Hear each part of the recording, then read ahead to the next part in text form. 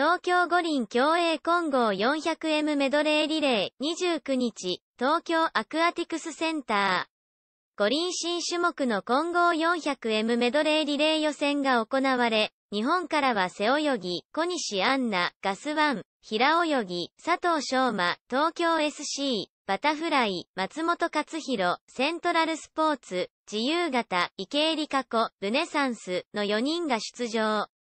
3分44秒15の9位で、決勝進出は逃した。男女2人ずつが泳ぐが、種目配置は各国の戦略次第という種目。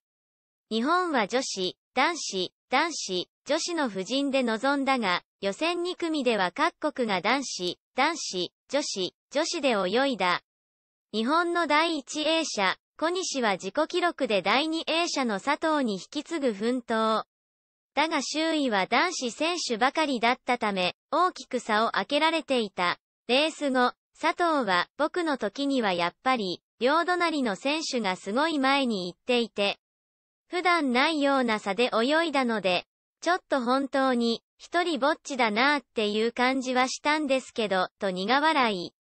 それでも、逆、一人旅だった 100M を、結構波は感じるんですけど、一人で自分の泳ぎに集中できてよかったです、と笑顔で振り返っていた。